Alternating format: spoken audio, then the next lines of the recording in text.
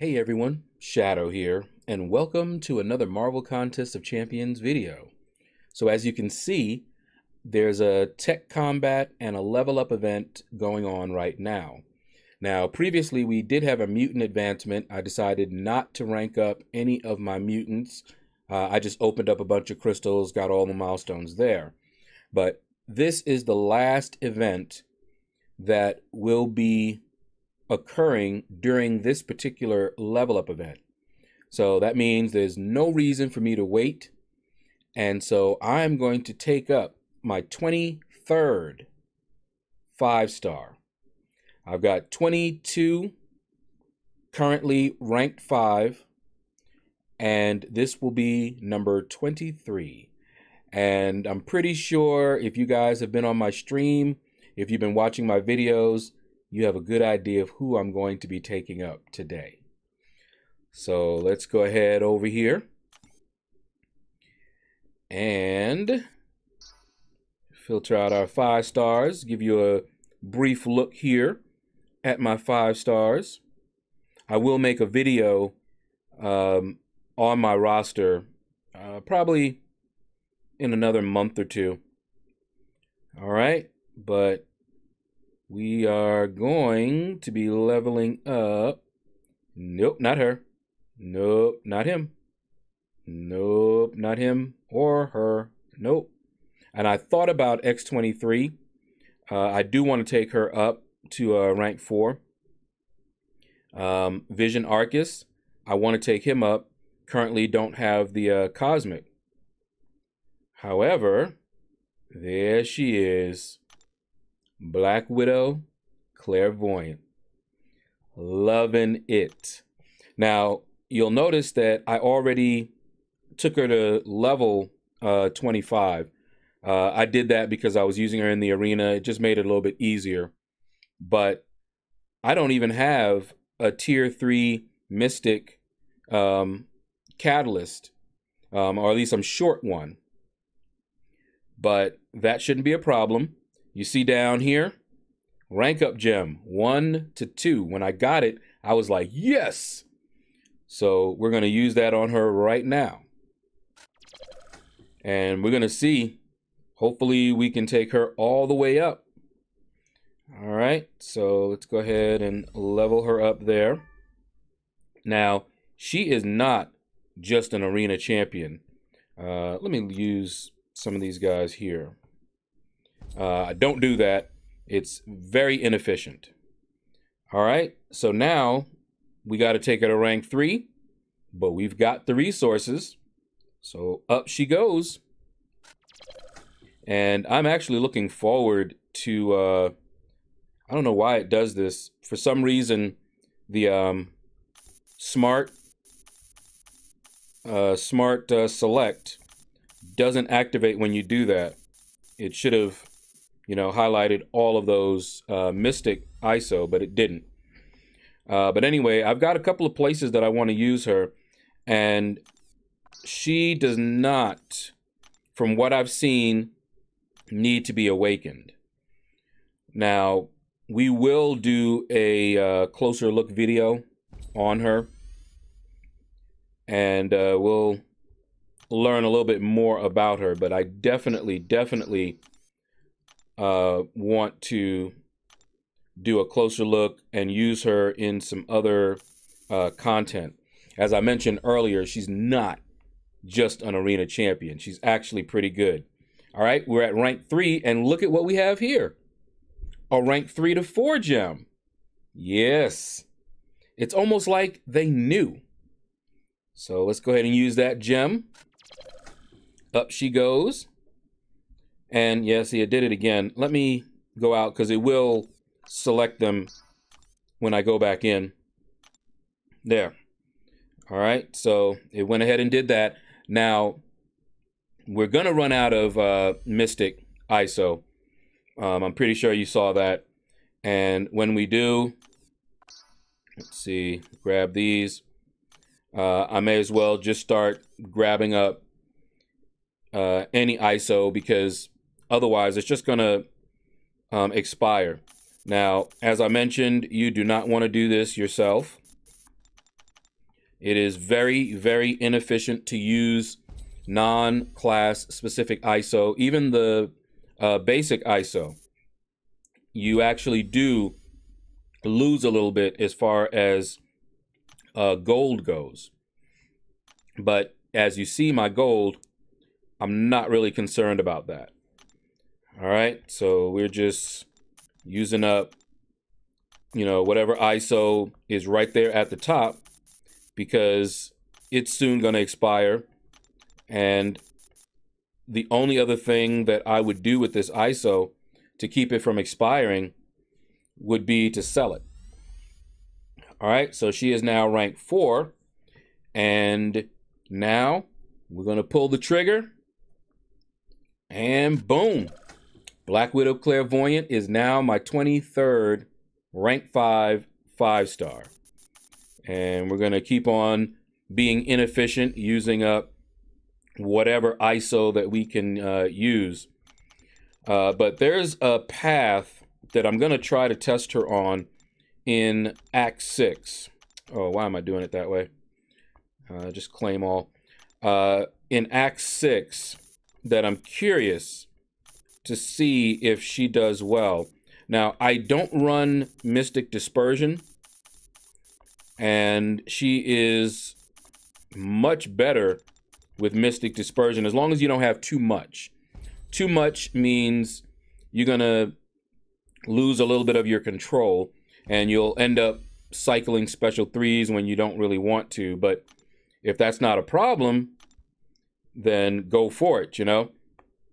But uh, she's also suicide friendly. So if you saw my opening, you saw how happy I was to pull her. Now, I mentioned that she was on my most wanted list, and I corrected what I, I said in there because I never officially added her to the most wanted list, you know, the little graphic that I have uh, when I do my crystal openings. I didn't add her, but she was always one of my most wanted, and I thought she was there. The only reason I think that she was not there, um, I think at one point in time, uh, I was going to add her, and she wasn't in the uh, basic pool yet. And so I said, all right, I'll wait until she's in the basic pool she came to the basic pool and I forgot all about it. In my mind, she was there and I just completely forgot. Um, but she was definitely a champion I wanted a lot. Uh, I run suicides all the time. She is very suicide friendly. So, what makes her suicide friendly, and I'll talk more about it in the video, but she starts out bleed immune. So boom, automatically, I don't have to worry about uh, double edge. All right, and now you have the poison. Well, she can cycle, and with one combo ending in a light, the next uh, mode, I guess, of hers is her poison immunity. And so just one combo, and boom, your poison is gone. But it gets better because she can also heal. So when she's in that uh, blood immunity, the one that she starts out in, you'd have to cycle all the way through if you cycled um, past it. But when she fires off her special two, she heals a lot. Now, I don't quite know yet uh, what governs the amount of healing that she does. Um, like I said, I'll do. I, I remember doing either a first look or some video, but I've forgotten already. Uh, but we'll do a more in-depth look at her and see what makes her so good and why I wanted her so much. Um, but those are the highlights of why I wanted her. Now, when I got her, the first time I used her in the arena, I got a um a matchup where she had to go up against someone with like double her PI. All right, there she goes. She is now maxed out. We'll take a look at her real quickly here. Um, she had to fight a Venom, and this is when she was rank one, level one.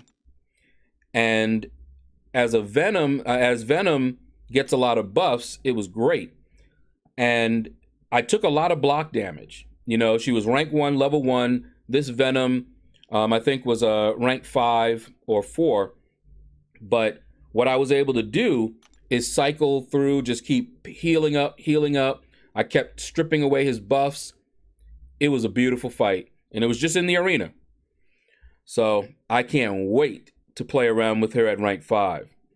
All right, so there you go. You can see her uh, abilities here.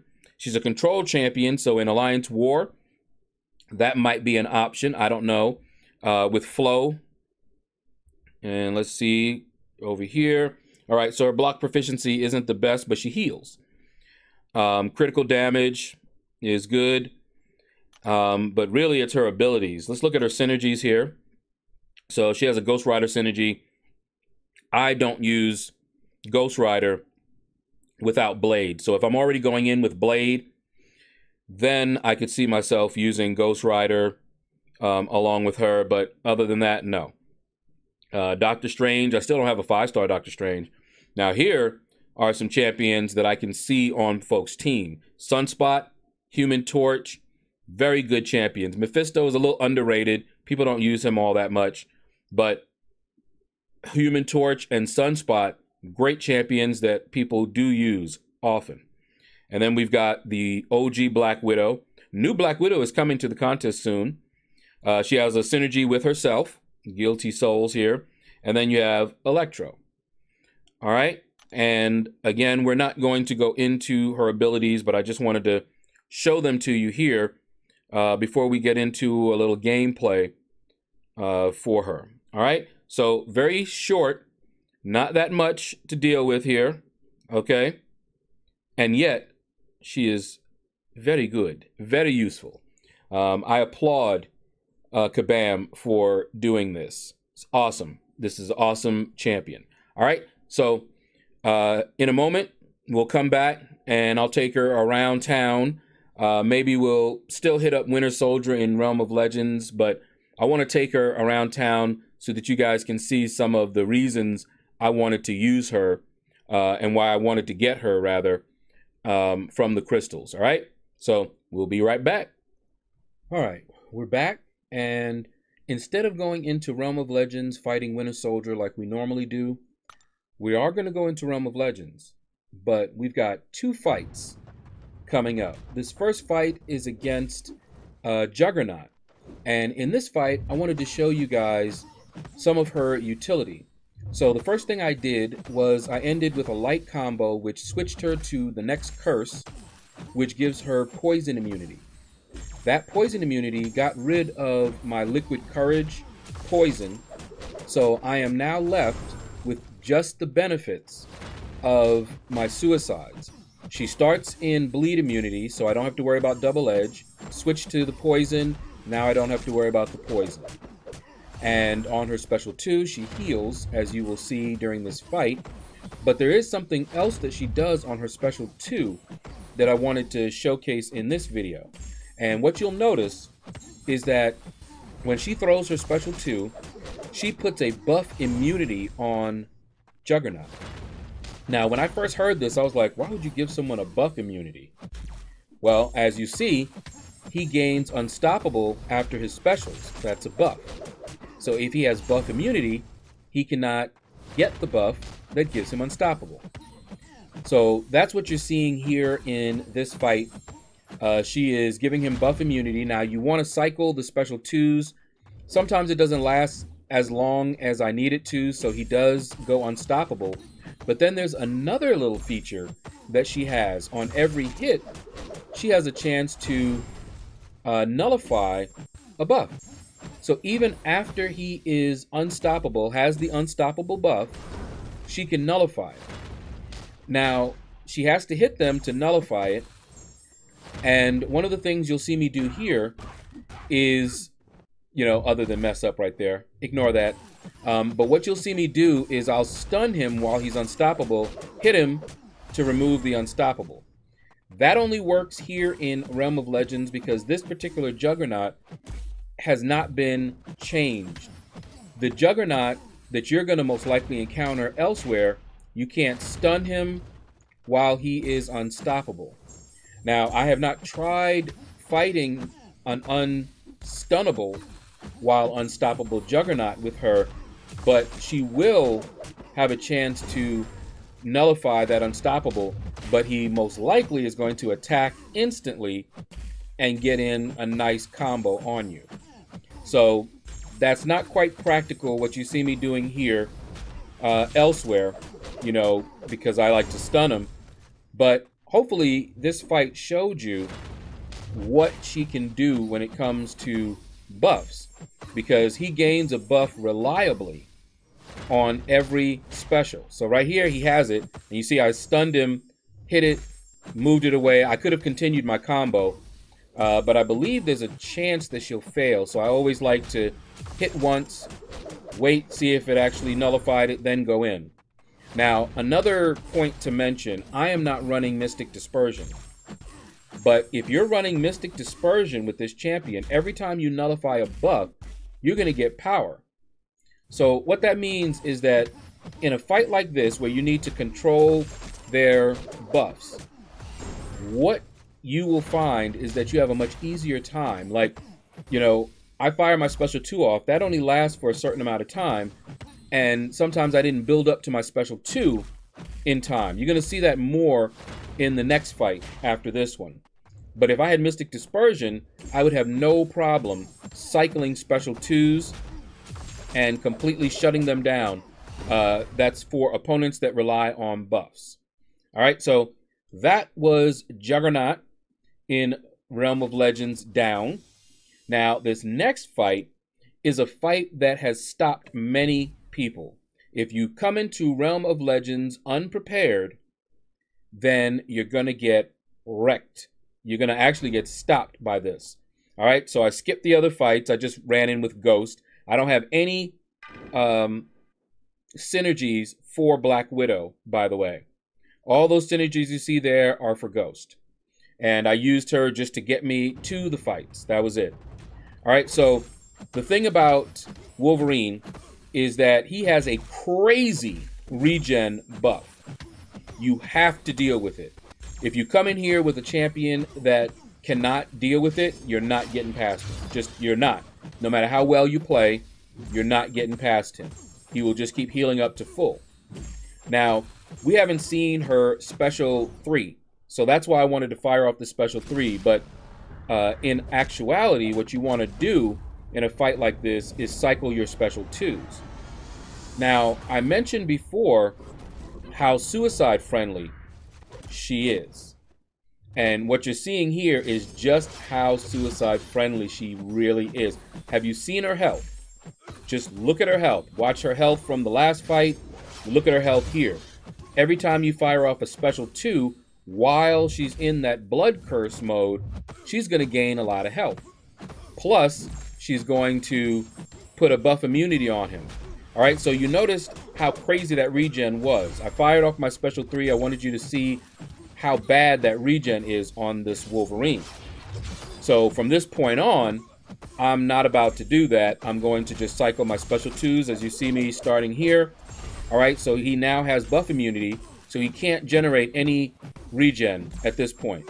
All right, and you see here, it's gone at this point, and I don't have a special two. And he's procking the regen. Fortunately, she is nullifying it on her hit. But say you were going up against someone that had a buff, you know, like unstoppable, and you did not want to deal with it at all. Well, that could be a problem because you saw I didn't generate enough power to get to my special two before that um, buff immunity ran out. But Mystic Dispersion will allow you to do that. With Mystic Dispersion, you're not going to have any problem. Now, the buff immunity, if I remember correctly, because um, I may have uh, misspoke on this one, the buff immunity may prevent the buff so that you're not able to nullify it. I don't know whether you regen power or you gain power um, while buff immunity is active. because uh, I don't run Mystic Dispersion. Somebody should test that out. Um, and I wanted to mention it uh, just in case because um, I'm saying buff immunity um, and you'll gain power so that you can cycle to your next special two, but uh, you may not be able to. So what you want to do, uh, just in case, is build up perhaps to almost a special three if you can, and then cycle it. But in this kind of a fight here, anytime he procs that regen, you want to be hitting him so that you can nullify it as you see I've been doing. Otherwise, even from that little bit of health that you see him have right there, he'd regain all of his health. All right, so that's going to do it, guys, for this video. Uh, hopefully you enjoyed the video. You see I was playing with him a little bit here because I want to intercept with my special two. Um, but take care. Hopefully you uh, enjoyed the rank up and everything. I will come out with a video, a closer look video where we talk more about uh, Black Widow Claire Voyant in depth. All right, so take care, and you all have a blessed day.